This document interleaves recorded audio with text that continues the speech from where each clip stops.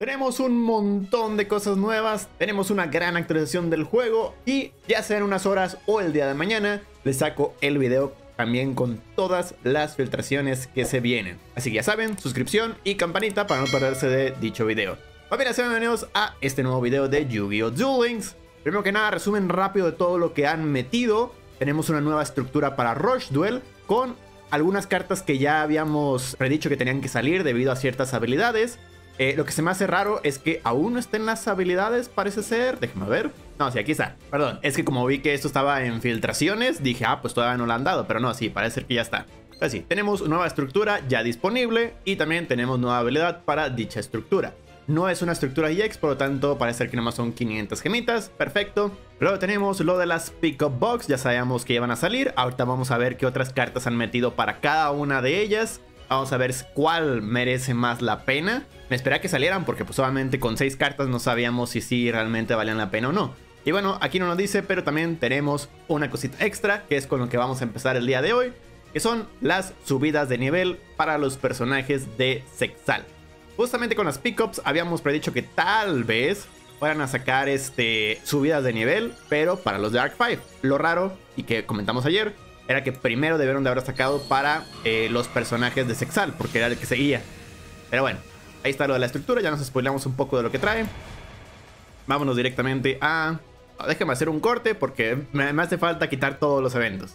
Vale, ahora sí, empecemos con lo de las subidas de nivel. Antes estaba hasta el nivel 35 y ahora nos van a dar hasta nivel 40. Y como ya vieron, tenemos también fichas de caja, 10 fichitas de caja por personaje. Y actualmente creo que tenemos 10 personajes, 2, 4, 6, 8, 10, 12 personajes, quiere decir que van a ser 120 fichas, por lo tanto, por lo menos una carta podemos sacar con dichas fichas. Muy bien, la verdad es que pues el oro y todo eso pues estaba sobrando ya, entonces el hecho de que den fichas está mucho mejor. Y por supuesto también tenemos 450 gemas por personaje, lo que equivale a la gran cantidad de 5400 gemas en total.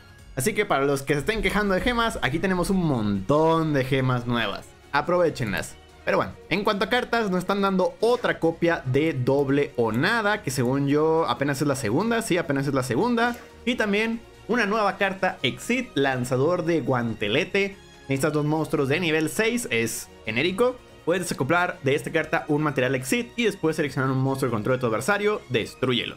La verdad es que está muy bien, ¿eh? Tal vez sea una de las cartas por las que muchos vayan a ir primero. Pero bueno, luego tenemos al personaje de Shark, igual las 10.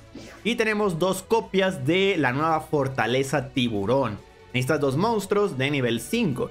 Tu adversario no puede seleccionar monstruos para ataques excepto a este. Una vez por turno, puedes acoplar de esta carta un material exit y después seleccionar un monstruo boca arriba que controles. Ese turno, este puede hacer un segundo ataque durante cada Battle Phase. También se puede seleccionar a sí mismo por si quieres atacar con este güey doble vez. No la veo tan guau, pero bueno, otra opción genérica para nivel 5. Luego tenemos a Río y lo que nos trae es otra copia del Zero Fine y otra copia del Cristal Zero ya con eso tenemos las terceras copias de cada uno. Sí, tercera copia del Cristal Cero y segunda copia. No, sí, también tercera copia, vale. Entonces sí, ya terminamos con todas las cartas de este personaje. Si algún día nos aumentan a nivel 45, ya no podría dar esas cartas otra vez. Los únicos que sí tienen una carta extra son eh, Shark y Yuma. Vale. Luego tenemos a este güey que nunca lo subí de nivel. Tenemos al nivel 38 y 40 dos copias de robo de hierro, la cual, si controlamos exactamente dos monstruos de efecto máquina y ningún otro monstruo, robamos dos cartas. Pero por el resto de ese turno, después de que activamos esta carta, solo podemos invocar de modo especial una sola vez. Solo puedes activar una de estas por turno. No está mal, digo, te restringe un poco, pero está chido. Es una Pod of Grid para los máquina. Igual, dependiendo de si hay algún deck eh, máquina en el futuro que sea competitivo, tal vez esta carta se use. Vale. Luego tenemos a Kotori, Tori, con la, al fin su exit, su Chaos Exit de la animadora. Tres monstruos de nivel 5, obviamente quieres más bien hacer el rank up. Cuando esta carta es mandada al cementerio desde el campo, robo una carta. ¿Ok? Hmm, podríamos usarla para un link, ¿eh? Y si esta carta tiene a la animadora como material exit, gana este efecto. Cuando esta carta destruye un monstruo de tu adversario en batalla y permanece en el campo, puedes acoplar de esa carta un material e infligir 200 puntos de daño a tu adversario por cada carta en tu mano. Eh, yo creo que lo más importante es el robo extra. Pero bueno, sinceramente no lo veo tan guau. Me impresiona que se hayan tardado tanto en darla. Vale, luego tenemos a Kaito con dos copias del Valiente de la Galaxia, nueva carta Galaxia. Esta carta está en tu mano, puedes mostrar un monstruo fotónico en tu mano, invoca esta carta de modo especial. Y si lo haces, su nivel se convierte en el nivel de ese monstruo fotónico. Entonces prácticamente ya te está dando un exit de dicho nivel. Esta carta es invocada en modo normal o especial. Puedes seleccionar un monstruo galaxia o galáctico en tu cementerio. El ataque y la defensa de esta carta se convierten en el ataque de dicho monstruo. ¡Uh! podemos tener un güey de 3000 así de gratis, ¿eh? Solo puedo usar cada efecto una vez por turno, ¿ok? Sí, siento que sea decente este güey. Es una invocación de gratis en su deck y aparte que se puede boostear ataque. Muy bien. Luego tenemos a Trey con o también una nueva carta, Globo Maguela Cronomalo. Monstruo nivel 4, puedes sacrificar esta carta, invoca de modo especial desde tu deck un monstruo cronomalo, excepto este mismo. Esta carta está en tu cementerio, excepto en el turno en que fue mandada allí. Puedes desterrar una carta cronomalo en tu cementerio, excepto este mismo. Añade esta carta a tu mano. Solo puedo usar este efecto una vez por turno, ¿ok? Se recupera, se sacrifica para sacar otro way. Está bien, está decente para su deck. Luego tenemos a el hermano 4. Eh, con también dos copias de una nueva carta. La marioneta trucada siente sombras. No puede ser destruida en batalla. Ah, es un monstruo de nivel 8, ¿eh? Eh, y cuando recibes daño de batalla del ataque directo de un adversario mientras está en tu cementerio, puedes invocar esta carta de modo especial desde tu cementerio en posición de ataque boca arriba. Y si lo haces, recibes 500 de daño. Solo puedo usar este efecto una vez por turno. Esta carta es un material exit y fuera hacer mandar al cementerio, destiérrala en su lugar. Me... No la siento tan guau, ¿eh? Digo, lo chido es que se revive, entonces esta siempre la quieres como coste de cualquier cosa para que esté en el cementerio ya lo antes posible y se pueda revivir y lo puedas usar para un exit. Pero sí, no, no siento que sea tan wow. Ya me dirán los jugadores maneta si es súper importante para el deck o no. Luego tenemos a el hermano Quintón con 35. Eh, aquí están. Otra copia del Destructor Oscuro Cosmos y la primera copia del Eclipsador Oscuro Cosmos. Ya tenemos otra navecita Cosmos. No puede ser seleccionado por efectos de cartas de adversario y durante el turno de cualquier jugador, cuando es activada una carta de trampa, puedes cerrar un monstruo Cosmo en tu cementerio, negar la activación y si lo haces, destruirla. Esta carta es destruida en batalla o por efecto de una carta y mandada al cementerio.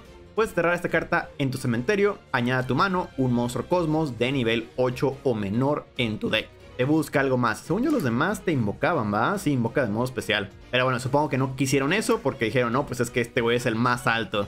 Es nivel 9. Y estos güeyes ya por menos son nivel 8 para abajo. Vale, podría estar interesante ese deck. Luego nos pasamos a Anakaboom con otras dos copias de Estrellas del Sur. Por lo tanto, ya se acabaron las Estrellas del Sur. Vale. Luego tenemos a Jirak con otras dos copias de la Mano de Fuego. Ya al fin tiene todo el set de manos. Bueno, de manos de fuego y hielo, más bien. Así que vale, ya va a poder aguantar un poco más. Y por último, el personaje de Alito, que está disponible ahorita en el evento, tiene otras dos nuevas cartas.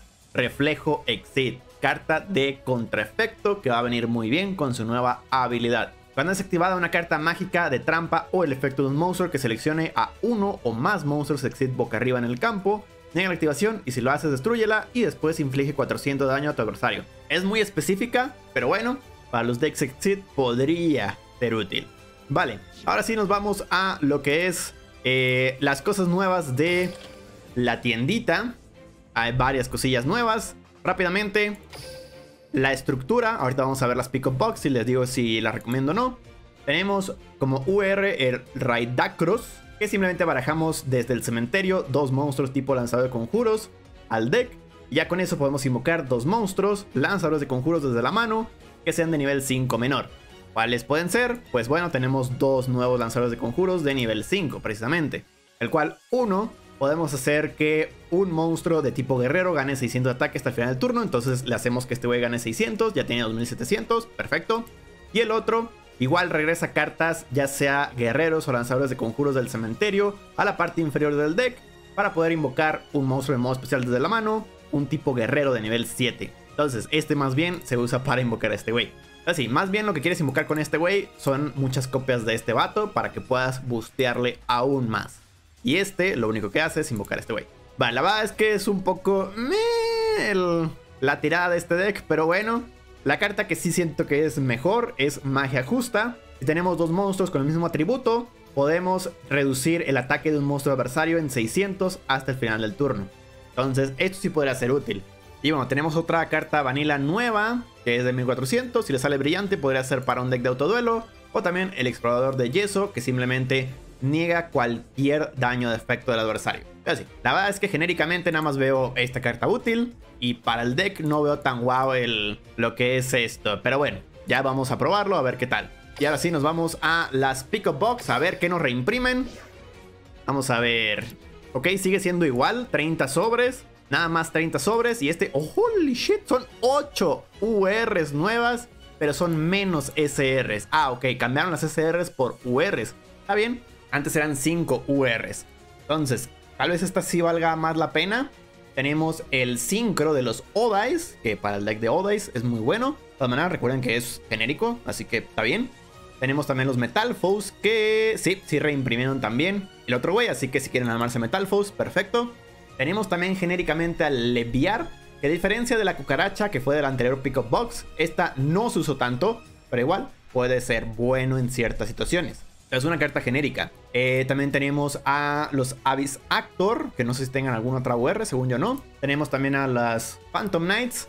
Y tenemos los rescatadores, tanto el hámster como el conejito.